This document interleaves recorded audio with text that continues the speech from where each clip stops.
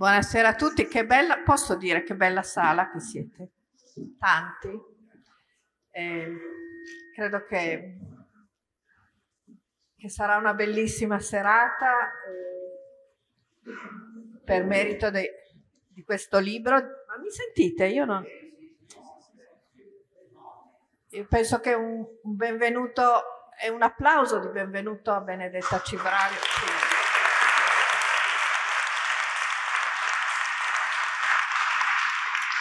Così questa sala, oltre a vederla, la sentiamo anche. Eh, scusate, lo dico da lettrice, ma anche da persona che passa ormai una ventina di ore al giorno, no, 20 no, ma poche di meno in questo posto, continua a meravigliarmi vedere la sala piena dopo tanti mesi che tutti conosciamo. Quindi permettetemi questa notazione di, di stupore, di meraviglia e di, e di speranza anche. Allora, per ogni parola perduta è un libro che innanzitutto vi consiglio caldissimamente di leggere perché è un libro che avvince nel senso più pieno della parola. E, come ho anticipato a Benedetta, vorrei cominciare a raccontarvi, ma soprattutto a, a, a, a dare spazio e voce a lei per raccontarci questo libro da una considerazione personale e anche fondamentalmente profondamente emotiva, che per me è partita dal quasi inconsapevolmente dalla copertina. Io ho letto le bozze, quindi la copertina è più, diciamo, più definita come grafica. Già questa copertina in bozze mi ha, come dire, guidato verso l'emozione che adesso vi dirò. E poi sin dalle prime pagine questa emozione è stata confermata. E permettetemi questa nota personale. Nel mondo ebraico la definizione e l'immagine primaria del lutto è lo strappo. Quando muore qualcuno che fa parte di te, in quel DNA fisico, ma soprattutto sentimentale, di famiglia, il gesto primo è quello di qualcuno che prende il bavero della tua giacca o della camicia e fa materialmente uno strappo. Perché il lutto, la perdita, l'assenza, il vuoto che lascia una vita che se ne va, è esemplato, raccontato da uno strappo. Uno strappo che in ebraico si chiama keria, che è veramente sinonimo del lutto, del perdere un affetto. E, ehm, ma lo strappo è anche qualcosa che si ricuce, che non è indelebile, che in qualche modo chiama il fatto che quello che ti succede perdendo qualcuno è terribile, è silenzio, ma che viene prima di tutto la vita e la vita ricomincia ricucendo questo strappo.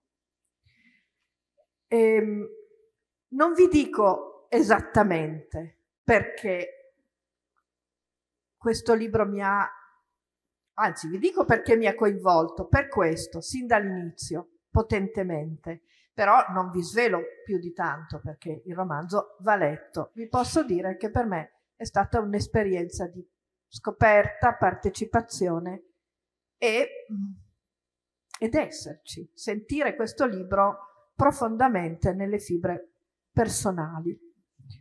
Perché all'inizio di questo libro e alla radice di questo racconto c'è un lutto, anzi ce ne sono due, Sofia ed Edmund, che sono i protagonisti insieme ad altri, ma insomma col- coloro che innescano la storia, innescano questa storia partendo da un'assenza, anzi da due assenze. Chiudo la parentesi personale per provare a raccontarvi da lettrice che cos'è, stato, che cos'è stata l'esperienza di questo libro e che cosa mi auguro sia per tutti voi e tutti coloro che l'hanno letto e spero lo leggeranno. Cosa non è questo libro? Non è una cosa che è molto comune in questo periodo e che forse non è ancora chiaro quanto questa abitudine letteraria sia il frutto di una vera ispirazione e, inve- e non invece l'adeguamento a una cosa che vorrei chiamare moda, ma no, non è proprio una moda. Sto parlando dell'autofiction, che è una cosa che non saprei esattamente come, come definire, ma che leggete molto spesso, più o meno inconsapevolmente. L'autofiction è scrivere un romanzo che in realtà è il prodotto di un'esigenza personale, ma che si trasforma in un racconto del sé, che forse in molti casi è anche un limite. Ecco, questo libro non ha questo limite, non è autofiction, è un romanzo nel senso più classico e oggettivo, e lo dico come un, un una cosa che è il frutto di talento, cioè la capacità di oggettivare la, la narrazione è, è propria di chi è un vero romanziere. Non è neanche una saga familiare, che anche questo è un genere molto praticato. Ma non è neanche esattamente il contrario di una saga familiare, perché in questo libro di famiglia si parla molto. Eh, di famiglia e di sentimenti che, e di esperienze intime legate al fatto di far parte di una famiglia. Ecco, questi non sono per me dei grandi valori aggiunti del libro e sono convinta che lo saranno anche per tutti i lettori che ancora non hanno letto e leggeranno questo libro. Cerchiamo di dare qualche, diciamo, essere più sul pezzo, insomma, raccontare quel tanto che basta per non invogliare, perché credo che qui non ci sia nessuno che non ha voglia di leggere questo libro, se non l'ha già letto. Al centro di questa storia ci sono due giovani donne, molto particolari, con una storia molto complessa alle spalle, anche nei rapporti familiari. Mi è piaciuto moltissimo il modo in cui affronti la maternità o la genitorialità vedendola nello specchio di queste due protagoniste, perché eh, è un modo molto non convenzionale di vedere i rapporti della famiglia e soprattutto il lascito che le famiglie danno a queste due giovani donne che hanno alcune similitudini fra loro, cioè ogni tanto hanno la capacità, quasi la necessità di specchiarsi l'una nell'altra, però è anche vero che sono due personaggi ben distinti, diversi, con una propria identità molto, molto netta. Ehm, io vorrei dire che, che in realtà due, queste due donne sono due anime gemelle. Era, è come se sin dall'inizio, da questo strappo, si andasse verso un destino che chiamava queste due donne, queste due giovani donne che vivono in due posti non, lontani l'uno dall'altro, che hanno esperienze di vita diverse, lingue diverse, però che erano in qualche modo destinate a incontrarsi. E poi cosa abbiamo? Poi abbiamo un grande collezionista che è una figura un po' nell'ombra, ma in fondo è il deus ex machina di questa storia, abbiamo una mongolfiera, una mongolfiera da rattoppare, possiamo dire così, che è eh, ciò che innesca eh, materialmente il, il, il confronto, l'incontro fra queste due donne. Poi permettetemi di aggiungere due brevi cose ancora prima di eh, lasciare la parola all'autrice con una cosa che è una specie di domanda. C'è un luogo cruciale in questo, ce ne sono tanti di luoghi in questo romanzo, ma c'è un luogo cruciale che è un luogo a cui personalmente come circolo siamo molto legati, che è Chambéry, che sta dall'altra parte di queste montagne che sono un valico da, da, da varcare, ma sono anche un, un mezzo di comunicazione. Il nostro leitmotiv in questo autunno qui al circolo è stato questo festival che si, chiama, si chiamava, perché è finito, Vis-à-vis, eh, organizzato insieme a Chambéry in nome di Jean-Jacques Rousseau per ripensare l'umanità, il mondo, l'ambiente, l'Europa come, ecco, è una cosa che io cito sempre, ma che anche qui secondo me è congeniale.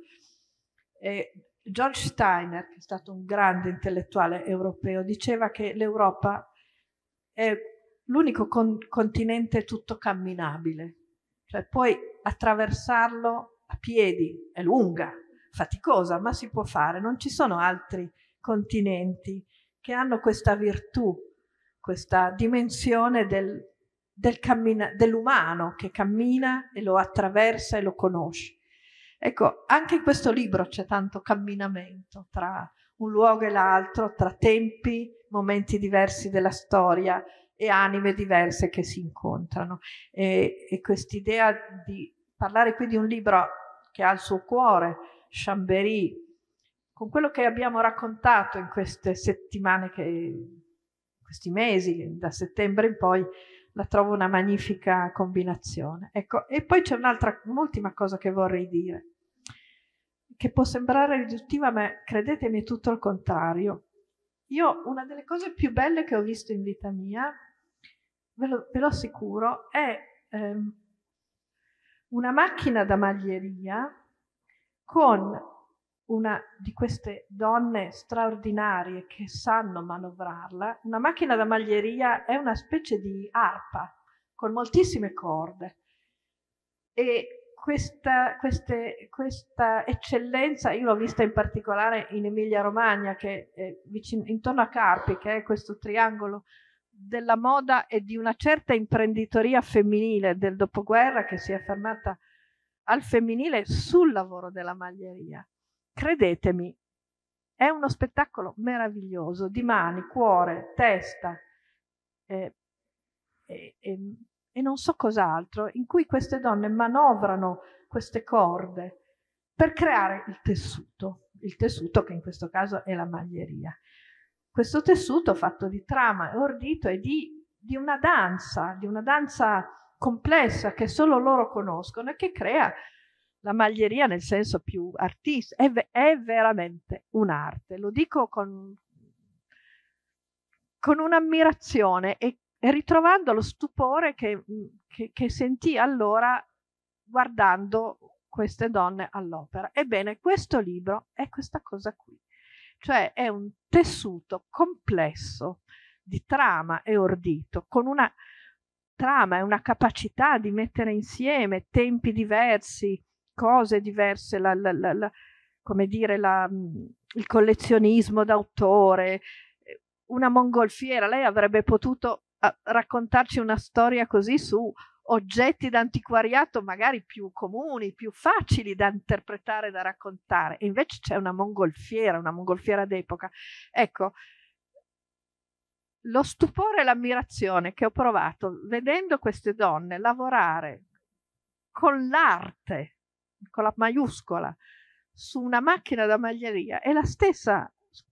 Io spero che non risulti riduttivo, ma è veramente di grande ammirazione nel vedere costruire pagina dopo pagina questo romanzo che diventa un tessuto complesso ma sempre armonioso in cui tutto torna sempre al lettore e non è difficile da seguire proprio perché c'è l'arte di costruire storie con con la complessità e la, e la passione che conobbi allora e che ho ritrovato in questo libro.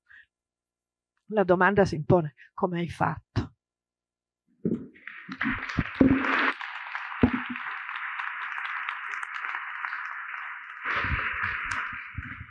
Buonasera, che bello vedervi qui come ho fatto? Allora, eh, non è affatto riduttivo sentire, sentire, paragonare il modo di scrivere, il modo che ho di scrivere a una macchina da tessitura, perché è esattamente così che io ho sempre pensato la mia scrittura. Io lavoro così, io vado avanti, torno indietro, eh, ogni giorno, prima di ricominciare a scrivere, io torno indietro nelle pagine già lette, mi segno qualche cosa che trovo nelle pagine già lette e immagino come potrebbe essere messo più avanti. Io ho continuamente questa sensazione di andare avanti e indietro, di, di, di, proprio di tirare insieme dei fili. Io faccio parte di quegli scrittori che non sanno nemmeno come si fa a scrivere, non dico un racconto, un romanzo, ma nemmeno un paragrafo se prima mi faccio la scaletta.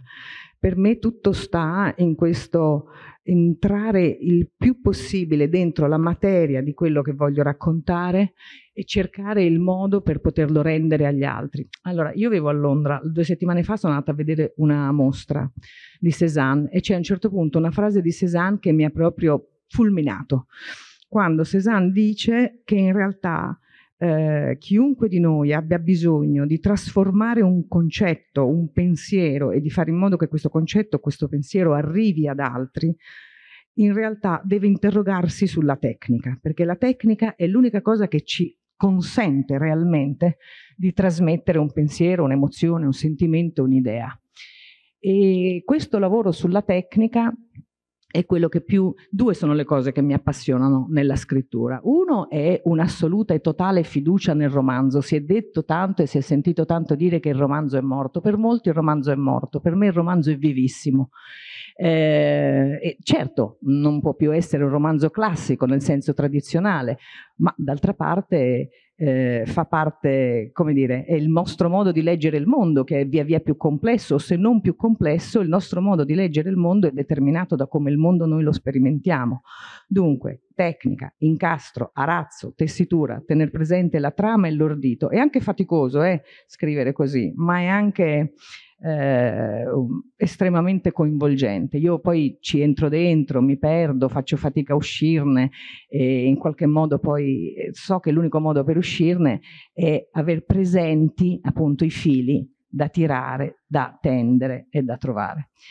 Eh, perché la mongolfiera? Cosa c'entra? Vi chiederete. Intanto questa è la mia quarta presentazione e io pensavo che la mongolfiera fosse un oggetto assolutamente raro. Ogni volta che vado a fare le presentazioni scopro sempre qualcuno che mi viene a dire che ha volato in mongolfiera. Io non credevo, non so se tra voi c'è qualcuno, ecco, c'è già un signore che ha volato in mongolfiera. Eh, e in realtà perché la mongolfiera? Allora devo fare un passo indietro, vi devo raccontare brevemente la genesi di questo romanzo, che, che parte in realtà in un modo lontanissimo dalla mongolfiera. Allora, eh, io vado nel eh, settembre del, del, 2020 a fare un viaggio in Russia con degli scrittori. Eh, pensavamo tutti, credo, che saremmo finiti a Mosca a San Pietroburgo, in realtà ci troviamo a Krasnodar e a Sochi, eh, cioè alle pendici del Caucaso. Il viaggio è diverso da quello che ci aspettavamo e tuttavia alle pendici del Caucaso a me non so perché viene in mente così per quelle strani corticircuiti, io non so perché mi è venuto in mente, mi viene in mente Savia de Mestre. Avevo letto il viaggio intorno alla, alla mia camera e mi viene in mente, torno in albergo, faccio un po' di ricerche eh, e scopro che da quelle parti, se non proprio a Krasnodar, ma lì vicino, insomma, alle pendici del Caucaso, Xavier de Mestre ci arriva. E tra l'altro io all'epoca nella mia ignoranza pensavo fosse francese, scopro che è savoiardo e, e, comincio ad appassionarmi a questo personaggio, anche perché di tutta la parte della vita di Xavier che poi si svolge in Russia, perché tra l'altro Xavier parte a piedi da Torino, il primo tratto lo fa a piedi e poi in qualche modo a cavallo arriva fino in Russia a San Pietroburgo, per lui la Russia diventa un destino. Tuttavia io non so fare le biografie, non sono una biografa, pensavo eh, di essere in grado, ma non sono capace, quello che so fare, so, mi piacciono le vite degli altri, mi piace immaginarle, scriverle. E d'altra parte l'altro tema eh, che mi è caro da sempre è eh, era da tempo che pensavo che avrei voluto avere come personaggio una persona che si occupasse di restauro, perché il restauro, se ci pensate, è una cosa mh, mm, importante, siamo tutti ammaccati dalla vita, basta vivere e ti ammacchi. Eh, e in realtà che cosa vuol dire restaurarsi? Il restauro oggi, mi raccontano, mi dicono che i restauri in Francia, per esempio, sono dei restauri che ricostruiscono completamente. Le nostre scuole di restauro in Italia e anche in Inghilterra sono invece delle scuole di restauro che lasciano le lacune, lasciano gli strappi, si devono vedere le cicatrici. E allora questa immagine che le cicatrici si devono vedere perché sono parte di noi, perché noi diventiamo quello che siamo anche con le batoste, gli ammaccamenti che riceviamo continuamente dalla vita, mi sembrava una cosa importante. Come legare queste due cose? E improvvisamente scopro che Xavier de Mestre è, a quanto so, il primo e unico scrittore ad aver volato su una mongolfiera a fine Settecento. E da lì ho cominciato a pensare che queste due cose si potevano collegare.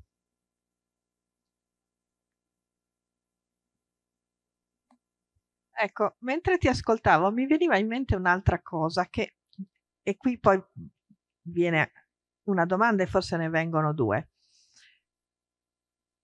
Il libro è un libro che non definirei propriamente a lieto fine in senso classico, ma certamente è un libro rasserenante. È una storia complessa, mh, mm, con tanti personaggi, tante ere storiche diverse, però è un libro che alla fine ti apre gli orizzonti, ti dà, ti, non, non, non, ti lascia nulla di amaro, nulla. Ehm, ecco, a fronte di questo, all'inizio del libro, come dicevo, ci sono due strappi potenti, ehm, due lutti, due assenze. Ecco, questo passaggio da un inizio in cui, che in realtà poi li definisci pian piano questi, questi strappi, All, all'inizio non sono, cioè, te li fa scoprire la, narra, la narrazione. Ecco, l'idea, al di là di esplorare il viaggio in mongolfiera di un intellettuale del Settecento, questo inizio, questa partenza del, del romanzo da due mancanze, da, da, da, due dolori profondi, è qualcosa che, che è venuto strada facendo o è in qualche modo una fonte di ispirazione, la fonte di ispirazione? No, è senz'altro la fonte di ispirazione soprattutto il lutto principale di cui si parla in questo romanzo e non faccio nessuno spoiler perché se ne parla nelle prime pagine, è quando Sofia, che è la restauratrice, che è una ragazza nata e cresciuta a Torino, anche se noi non nominiamo mai Torino, eh, in realtà lei si trasferisce in Inghilterra, a Oxford, dove, ehm, dove diventa restauratrice diventa restauratrice e, e, Sofia è una ragazza complicata, è una ragazza che è una cultrice della distanza, ha un rapporto complicato con la sua famiglia, ma in questo, come ha detto giustamente Elena, in questo romanzo tutti hanno dei rapporti un po' complicati nelle famiglie, ma questo è un dato di fatto di tante famiglie. Eh, e eh, Sofia ha questo grandissimo amore che è Nicola. E eh, Nicola, mh, mm, Nicola ha un incidente e muore. Ecco, io se permetti, mi piacerebbe leggere, posso leggere il pezzo di Nicola? Ecco, io vi vorrei leggere questo, questa paginetta di Nicola.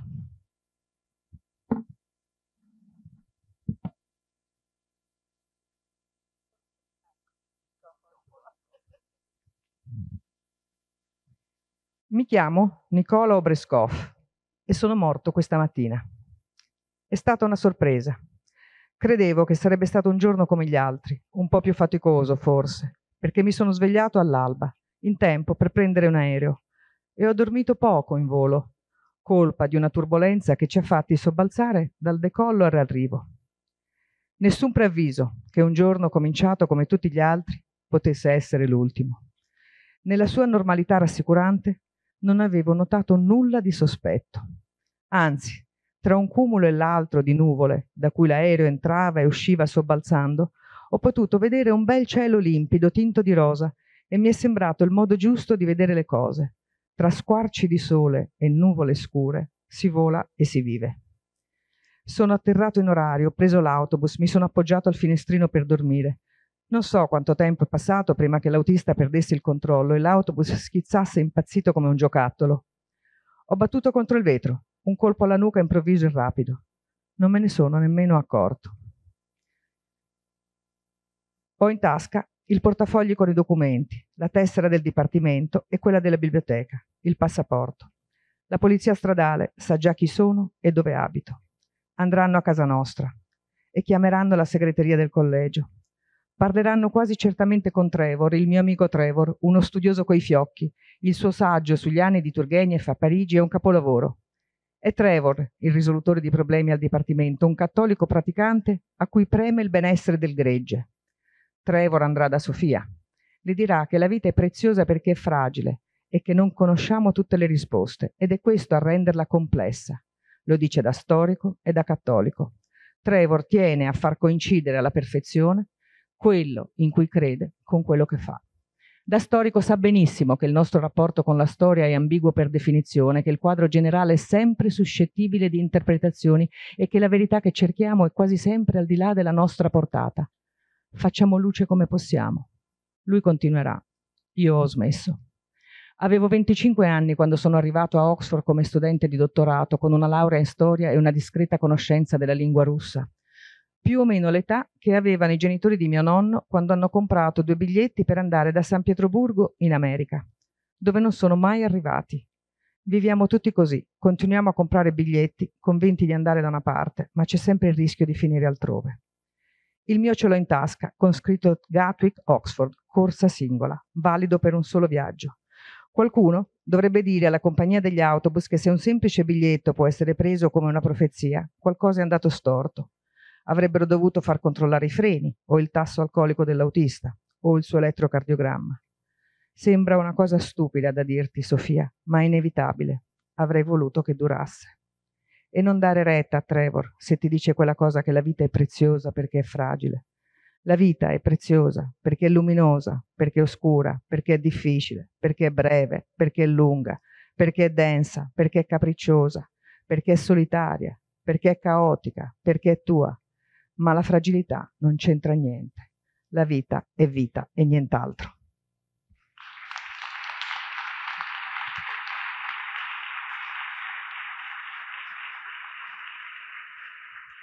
La fragilità non c'entra niente e Sofia ce lo dimostrerà tutto questo perché il racconto che Benedetta fa del, del trauma, dello strappo, è, è tanto pregnante quanto, quanto quello che segue, cioè e, e il fatto che a un certo punto della sua vita Sofia, come dire, contraddice la fragilità, riprende a vivere e, e, a rappezzare e a rattoppare, in particolare questa mongolfiera dopo alcune insistenze da parte del committente di questo lavoro e tutto questo la porterà a Chambéry e a poco a poco lei e insieme a lei la sua lettrice, il suo lettore, i suoi tanti lettori eh, scopriranno quanto poco è fragile lei e quanto la vita è tutto quello che racconti ehm, in, in, in, queste righe, in particolare in quell'elenco di cose che è la vita, ma è anche e forse soprattutto la capacità di ricucire gli strappi. Sì, eh, ricucire gli strappi, ma quello che è importante è che gli strappi non è che ce li ricuciamo da soli, cioè sono necessari gli incontri, anche casuali, anche con persone che magari Mhmm, da cui non ci aspetteremo assolutamente niente. Questo è un romanzo in cui si dice quasi a ogni paragrafo che in realtà noi siamo fatti per interagire l'uni con gli altri. E non importa se siamo diversi, se non ci conosciamo, se parliamo lingue diverse, se le nostre vite si toccano in un momento per poi allontanarsi di nuovo. Dall'incontro con l'altro viene sempre fuori almeno una possibilità, almeno eh, la, come dire, il, il pensiero, ecco, il pensiero, l'indicazione che ci si può provare, si può provare a non mollare, eh, ci si può, non ci si può aggiustare, mh, mm, ma, ma ci si può rimettere in carreggiata, si possono percorrere tante strade, ci sono tanti fili nelle vite di, questi personaggi che possono essere riannodati, che portano lontano. E lontano si arriva qui perché il romanzo si sposta da Torino a Chambéry, a Oxford e seguendo eh, con il racconto di, della vita di Xavier si arriva anche in Russia. E mappe di tempo e di geografie perché si va, eh, si va indietro nel tempo e si sta nel presente eh, si sta chiusi in un luogo come Sofia, come Pauline nella sua libreria eh, di libri di, vecchi, antichi, libreria sull'orlo del fallimento, in una città chiusa come Chambéry, e tuttavia un crocevia. Chambéry è un crocevia, un crocevia di strade, sempre strada, un luogo di passaggio. Ecco, quest, questa, è, questa, è, un po' la mappatura di questo romanzo, tra luoghi, piani, eh, personaggi, incontri, e per tornare a quello che diceva Elena, è un arazzo, è una tessitura tale proposito, io avrei una domanda, poi magari lasciamo anche al pubblico la possibilità, se sei d'accordo, di, di chiedere, di, di dire. La domanda è molto semplice, ma quanto hai studiato? Beh, quella per me è, parte, è, una parte emozionante e divertente. Sì, ho studiato perché io di mongolfiere non sapevo assolutamente niente e, e, di De Mestre sapevo poco e eh, tra l'altro se c'è qualche francesista in sala è molto molto affascinante quello che lui fa una volta che va a San Pietroburgo perché non si sa nulla. Io quando ho cominciato a pensare di, questo, di studiare questo romanzo avevo bisogno di avere accesso agli archivi russi, ma era, era prima del, del, Covid, quindi avevo, mi ero messa in contatto con un italianista di Mosca bravissima e l'idea era di andare lì a cercare eh, perché la cosa interessante di Xavier de Mestre è che in realtà lui era amico dei genitori di Pushkin, una sua, mm, sua moglie era zia della Natalia Pushkina, la moglie di Pushkin, e in realtà io mi sono resa conto che c'è tantissimo lì e la mia, eh, poi è venuto il covid e la mia ricercatrice non poteva neanche lei andare più in biblioteca a Mosca, quindi abbiamo fatto un po' quello che abbiamo potuto, però sì, ho studiato tanto, ma è stato anche un momento molto appassionante e divertente. Ho studiato tanto, ma mappando il tuo percorso di studio a priori o lasciandoti portare in qualche modo dalle protagoniste sostanzialmente nello studio. No, questo è un po' lo stesso sistema che ho usato anche nei romanzi precedenti, cioè io mi faccio un'idea di che cosa voglio far fare ai personaggi e dove voglio portare la storia, poi mi rendo conto di non saperne abbastanza, allora studio e alterno le giornate tra scrittura e lettura. Insomma, questo è un po' un, un, uno schema che, che, funziona e che mi è congeniale. Tra l'altro mi, nessuno può scrivere eh, troppe ore al giorno, quindi questo mi consente anche di alternare i tempi. E poi devo anche dire che ho trovato tantissimo materiale eh, online, insomma, quindi quello è stato fondamentale. Perché tornando a quello che dicevo prima cioè sul fatto che quello che non è questo libro, cioè non è autofiction. E questo, guarda, per me è tanta roba, come si dice in bell'italiano, perché mi capita, e non so se capita anche voi come lettrici e lettori, ma mi capita così tante volte di aprire un romanzo italiano o straniero e di avere delle aspettative, diciamo, di... Io credo che la lettura sia essenzialmente un piacere, e, ehm, e quindi delle aspettative di un'esperienza di scoperta che poi a un certo punto si, come dire, si infrangono, si frangono delle onde contro la sensazione sempre più nitida che l'autrice o l'autore in questione in realtà stia parlando di se stesso e per se stesso. Il che può anche far sortire delle opere di una prosa d'arte magnifica ma non è quello che io, che forse sono ancorata a modelli di romanzo, di lettura, di piacere della lettura tradizionali, ma pur sempre comunque efficaci. E, e tante volte appunto non è una forma di delusione in senso stretto, ma è certo è l'incontrare qualcosa che a forza di leggere ti aspetti e che in qualche modo però ti, ti lascia un po' di sapore amaro. Ecco, quando io dicevo prima che per me l'oggettività della scrittura è un, un grande valore aggiunto, la potrei volgere a, adesso anche in, in questo aspetto della, della, tua narrativa in particolare di questo libro, cioè la, la capacità di in, in, intrecciare quella cosa che è ambigua, come è stato detto, che è la storia grande, con le storie personali, cioè qui al di là della, della, dell'ispirazione di partenza, della, della scoperta di questa mongolfiera e del lavoro di ricerca storica che hai fatto, l'altra cosa che a me interessa sapere, spero anche a voi, è come facevi poi, una volta raccolte queste, questi dati storici, a innestarli in quel tessuto che è una storia anche, e ci tengo a ripeterlo, profondamente personale. Qui si entra dentro l'animo di due giovani donne e non solo loro, come avete potuto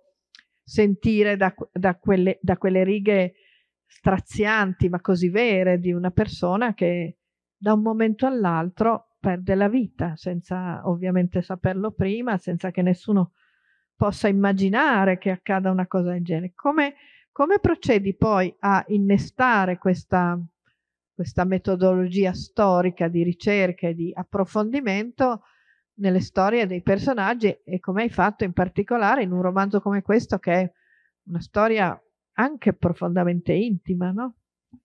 Ma eh, eh, di solito io quando studio e faccio un po' di ricerche, in realtà senza rendermene conto lavoro sempre almeno a due livelli. Una parte è prendere delle informazioni necessarie in modo da non scrivere inesattezze perché eh, mi, mi, dà fastidio, insomma, se ci sono delle cose imprecise. D'altra parte, però, mi rendo conto che lavora sempre ad un secondo livello e quindi evidentemente io recepisco delle suggestioni. Eh, non, non, è che non succedono dei giorni in cui tu ti siedi alla scrivania e non riesci a scrivere neanche una riga, ci sono e come, però in quei giorni, in quei giorni là io mi dico sempre se non è il momento della scrittura, è il momento della lettura. Nel mio caso è il momento dello studio. E sempre in qualche modo questa cosa mi ricarica. Poi come si fonde, questo non lo so, fa parte di quei meccanismi di immaginazione che a un certo punto scattano in opera. Io ho sempre la sensazione che quando sei stato abbastanza a scrivere, quando hai scritto abbastanza e fatemi dire quando hai buttato abbastanza, a un certo punto in realtà poi la macchina parte e tu senti che la macchina è partita, però esattamente se ti dovessi dire, se vi dovessi dire se io ho un metodo per incastrare queste cose, no, un metodo non ce l'ho. Io sono una narratrice assolutamente distinto. La cosa che vi dicevo prima non è una, eh, come dire, non è um, un'inesattezza. Io davvero non ho mai fatto una scaletta, non la so fare. Se io faccio una scaletta è sicuro che non scriverò quello che ho messo giù in scaletta, perché è come se tutto dovesse stare in un modo molto nebuloso nella mia testa, senza neanche pensarci troppo, e poi a un certo punto io so che si aprono, perché io me le immagino proprio così, come se fossero delle specie di, di, di, di porte interne, del, de, di sinapsi, non so che cosa sono, che si aprono e a un certo punto io accedo alla materia che voglio raccontare.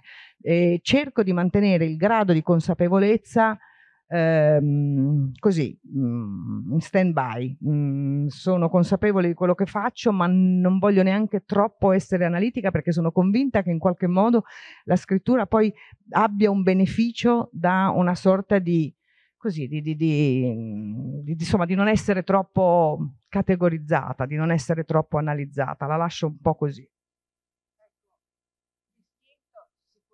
Questo si percepisce nel libro e si percepisce anche per una cosa che adesso ripeterò che però mi sembra in, in, importante ribadire, ma non di improvvisazione. In questo libro e in generale nella tua scrittura non c'è mai quella cosa che spesso viene, viene confusa con l'ispirazione, ma non è la stessa cosa. Improvvisare la scrittura, improvvisare una trama, non ha nulla a che vedere con la forza dell'ispirazione, cioè della necessità, del bisogno, del, della gioia di scrivere.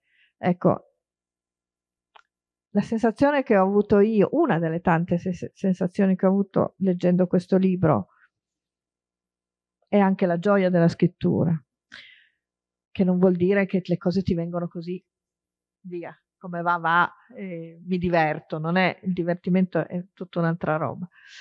Eh, ed, è que- ed è il motivo per il quale, pur essendo un libro dove ci sono, mettiamola così, delle cose tristi, dei lutti, delle perdite, delle, della solitudine, perché quello che Sofia riesce a superare e, e, e che e tu ci spiegavi attraverso la consapevolezza che nulla si fa e si risolve senza gli altri, quello che, che Sofia riesce a superare è, è, l'abisso della solitudine in cui ti porta al lutto, che è un po' è anche quello che spinge eh, Edmund a, a comprare quella mongolfiera, perché anche lui è il frutto, è la, è la vittima, è il protagonista di uno strappo tremendo che è, passa un po' in sordina, ma c'è, direi, non meno intenso e non meno, come dire, fondamentale alla storia co-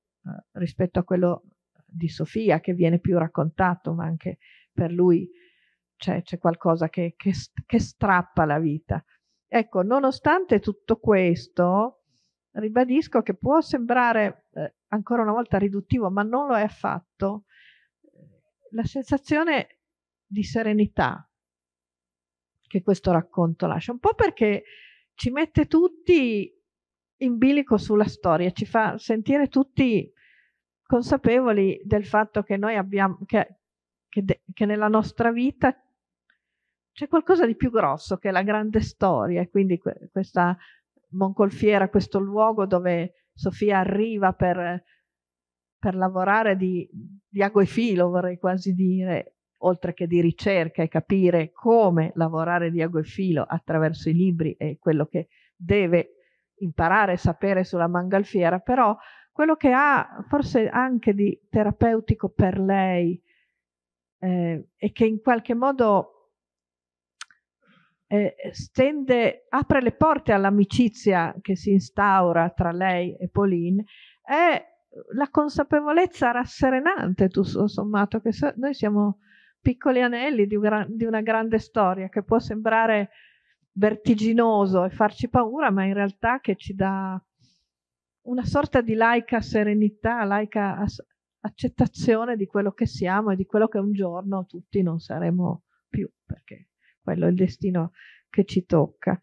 E io avrei un'ultima domanda o considerazione da farti, e cioè tu sei uno di quegli scrittori o scrittrici, di quelle scrittrici che una volta finito un libro hanno, come dire, la sensazione che questo sia, che per, non dico che sia l'ultimo, ma per un po' ho detto tutto quello che avevo da dire, o scrivere un libro, vederlo, vedere l'oggetto che diventa eh, il, il, destino che, a cui va incontro attraverso gli occhi dei lettori è, una, è, un, dire, è un motore che ti fa dire non vedo l'ora di cominciarne un altro. Eh, ma io in realtà, per quanto i miei romanzi siano abbastanza diversi tra di loro, tuttavia penso che c'è sempre questo filo che li unisce, c'è sempre il rapporto del sindaco con la storia, c'è sempre il modo in cui noi ci rapportiamo al passato e c'è sempre questa specie di consolazione. Cioè per me il mio concetto di la cosa che mi rende più serena è sen- è, è questo voltarmi indietro e vedere le generazioni che mi hanno preceduta, la storia che mi ha preceduta, mia, dell'umanità, questo mi rassicura perché ho come la sensazione di essere qui in questo momento in un segmento di tempo che parte da lontanissimo e arriverà lontanissimo. È come se fosse un'immensa marcia eh, a cui tutti apparteniamo, tutti tutti insieme e questo per me è il senso del mio amore per la storia, del mio amore per il passato, perché per me il passato è la lente che mi consente di mettere a fuoco la mia idea di futuro. Eh, e questo credo che sia una costante in tutti i romanzi che ho scritto. Lo dico perché io eh, ogni romanzo è parte di questa, è, è parte di questa strada. Quindi se la domanda è ho già in testa un'altra cosa e ho voglia di mettermi a scrivere, la risposta è sì e come, perché eh, è, è, proprio questo senso di continuare questo discorso attraverso i romanzi, attraverso le cose che scrivo ehm, e attraverso anche le riflessioni che uno fa mentre scrive, insomma.